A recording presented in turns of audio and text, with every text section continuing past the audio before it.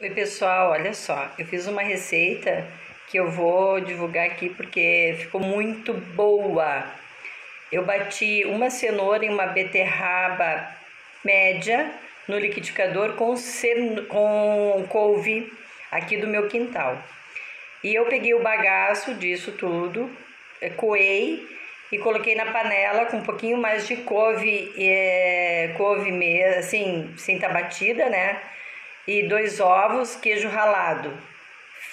Ficou um suco, o suco é de couve, beterraba e cenoura. E, a, e o prato, vejam que delícia. Gente, ficou muito saboroso. Uma dieta nutritiva e saudável. Estou é, compartilhando aí com vocês.